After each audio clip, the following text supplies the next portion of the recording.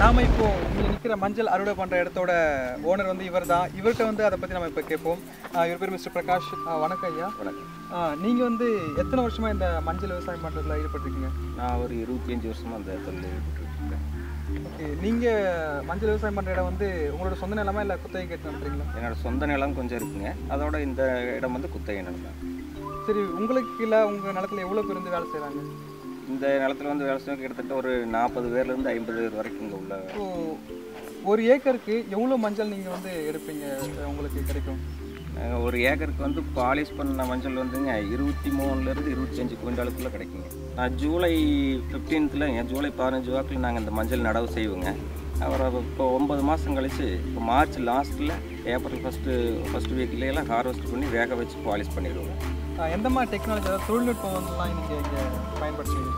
நாங்கள் தொழில்நுட்பங்கிறதெல்லாம் எதுவுமே இல்லைங்க. எல்லாமே நாங்களே தான் ஆ- வேலையாட்கள் வச்சதே எல்லாமே செய்கிறோங்க இயந்திரம் மூலமாக செய்கிறோன்னா எதுவுமே இல்லைங்க. முதல்ல இந்த உழவு பணியெல்லாம் பார்த்தீங்கன்னா மாடுகள் எருதுகளை வச்செல்லாம் முதல்ல உழவு பண்ணிக்கிட்டு இருந்தோம். இப்போ எருதுகளே எல்லாமே கிட்ட எல்லாம் அழிஞ்சு போயிடுச்சு அதனால் உழவுக்கு மட்டும் டிராக்டர் வச்சு யூஸ் பண்ணுறேங்க மீதி எல்லாமே அத்தனையுமே எல்லாம் வேலையாட்கள் வச்சது அனைத்துமே ஹார்வெஸ்ட் வரைக்குமே எல்லாமே அர்த்தம் பண்ணுறோம் கவர்மெண்ட் வந்து பார்த்திங்கன்னா இன்றைக்கி செவ்வாய் கிரகத்துக்குலாம் ராக்கெட் அனுப்புகிறேன் எங்கே அனுப்புகிறேன் நிலாவுக்கு அனுப்புகிறேன்னு சொல்கிறாங்க ஆனால் இதுக்காக எங்களுக்காக இது வரைக்கும் எந்த இதுவுமே பண்ணியே கொடுக்கல நம்ம இந்திய நாட்டில் வந்து ஒரு கவலைக்கிடமான விஷயம் என்னென்னா எவ்வளோ டெக்னாலஜி உருவாக்குறாங்க எவ்வளோ தொழில்நுட்பம் வந்து பயன்படுத்துகிறாங்க எந்த துறையிலையோ. ஆனாலும் விவசாயத்திற்காகவும் விவசாயிகளுக்காக இது வரைக்கும் எந்த ஒரு டெக்னாலஜி வளரலைங்கிறது ஒரு கஷ்டமான ஒரு காரியம்.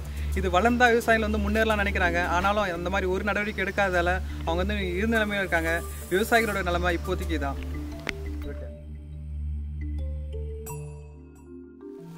நீங்கள் ஒரு நாளைக்கு எவ்வளோ நேரம் இங்கே வேலை செய்வீங்க ஆறு டு ஆறு.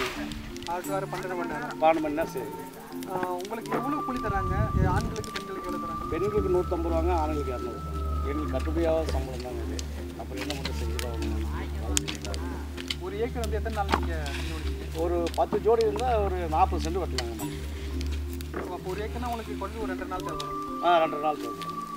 இது பார்த்தீங்கன்னா இவங்களுக்கு வந்து பன்னெண்டு மணி நேரம் வேலை செஞ்சாலும் கட்டுப்படியாக சம்பளம் தான் இருக்குது இவங்க வந்து குடும்பத்தை நடத்துறதுக்கு வேறு வழி இல்லாமல் இங்கே வந்து இந்த வேலை இப்போ பார்த்துட்டு இருக்காங்க. அது மாத்திரம் இல்லாமல் இங்கே பார்த்து லாஸ்ட் என்ன பண்ணிடுவாங்க உங்களுக்கு வந்து அரசாங்கத்தோட சலுகைகள் எந்த அளவுக்கு வந்து பிரயோஜனமாக இருக்குது நீங்கள் அதனால் எந்த இடத்துல ஒரு ரெண்டு வருஷம் வந்து கொடுத்தோம் ஏக்கருக்கு ஆயிரம் ரூபா ஆறாயிரம் கொடுத்தாங்க.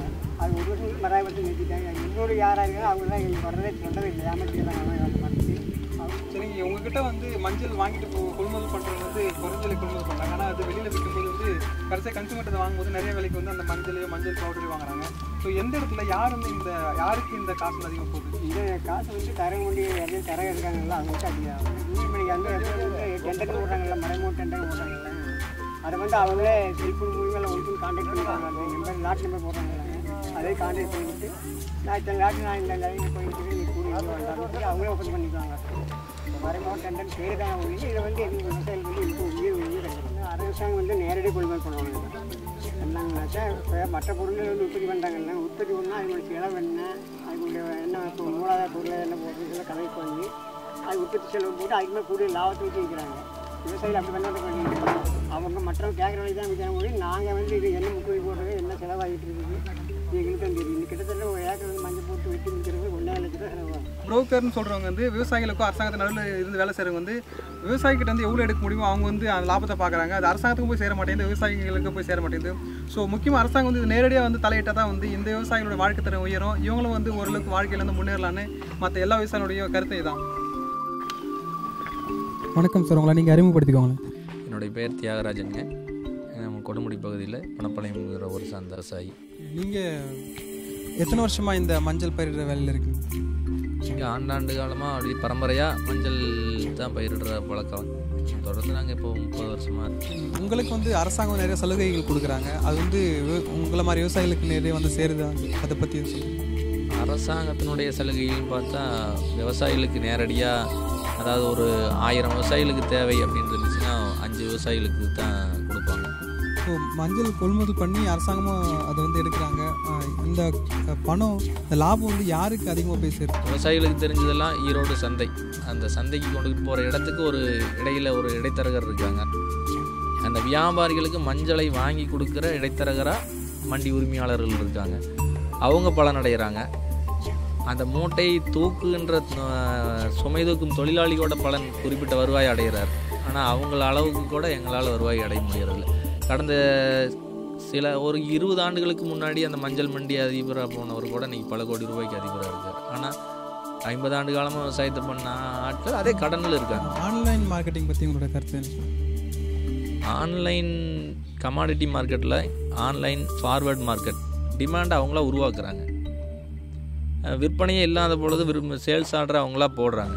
மஞ்சளே கையில் இல்லாத ஆள் எத்தனை லட்சம் குவிண்டாலும் வேணாலும் விற்பனை செய்கிறதுக்கான வாய்ப்பு இருக்குது. அது எப்படி சாத்தியம்ங்க? மார்க்கெட்டில் நான் விலை கட்டுப்படியாகலின்னு விற்காமல் வச்சுருக்கிற விவசாயிகள். ஆனால் ஆன்லைனில் சேல்ஸ் ஆர்டர் போட்டுக்கிட்டே இருக்காங்க. அவங்களுக்கு யார் கொடுத்தது அந்த அதிகாரத்தை? நாங்கள் கஷ்டப்பட்டு உற்பத்தி பண்ண மஞ்சளை நாங்கள் விலை சொல்லிட்டு விற்காம தான் மார்க்கெட்டில் வச்சுருக்கிறோம். ஆனால் ஆன்லைனில் யாரோ சிலர் ஆர்டர் போட்டுக்கிட்டே இருக்கிறாங்க விற்கிறது அவங்ககிட்ட ஏது மஞ்சள்? டாலர் ரேட் வேரியேஷனை அதில் பேலன்ஸ் பண்ணுறதுக்காக அந்த ஃபார்வேர்ட் மார்க்கெட் உருவாக்கி அவங்களுக்கு தான் அது பாதுகாப்பாக இருக்குது. அதில் விவசாயிகளை வந்து அப்பாவி விவசாயிகளுடைய வாழ்க்கை வீணடிக்கப்படுது இந்த ஆன்லைன் வர்த்தகத்தில். அதில் இருக்கிற எல்லா விவசாய பொருட்களையுமே எடுக்கப்படும் அதுதான் எங்களுடைய பொதுவான கருத்து. இப்போ வந்து நீங்கள் மஞ்சள் சராசரி எவ்வளோ விலைக்கு வந்து கொள்முதல் பண்ணுறாங்க நீங்கள் நேரடியாக இந்த சில நிறுவனங்களோடு தொடர்பு வச்சா உங்களுக்கு லாபம் வந்து எந்த அளவுக்கு நம்புறீங்க? நாங்கள் ஒரு இருபத்தி அஞ்சிலிருந்து முப்பது சதவீத அளவுக்கு எப்பொழுதுமே மார்க்கெட்டில் நிலவுகின்ற இருபது சதவீ ரேட்டிலிருந்து இருபத்தி அஞ்சிலிருந்து முப்பது சதவீத கூடுதல் விலை பெற முடியுங்கிற நம்பிக்கை இருக்குது. நீங்கள் வந்து எடுக்கிற முயற்சிகள் வந்து சீக்கிரம் வந்து நல்ல பலன் கிடைக்கும்னு நாங்கள் நம்புகிறோம் உங்களோட கருத்துக்களை வந்து எங்களோட பகிர்ந்து கொண்டதுக்கு ரொம்ப நன்றி.